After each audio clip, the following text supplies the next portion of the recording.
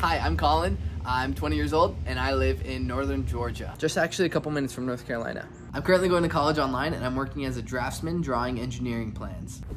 I love everything video games, tech, computers, all that stuff, so I'm basically a nerd. Hopefully this isn't a problem, but I don't know how to whistle or juggle. I'm incredibly competitive and give everything 150%.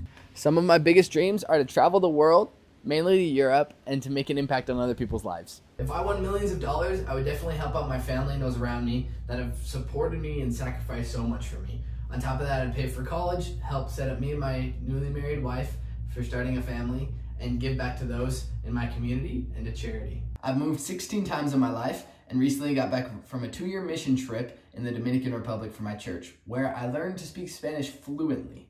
Also, I'm basically a rare Pokemon. Red hair, blue eyes is only in 0.17% of the population. So let me just help you out here. I'm the ginger you've been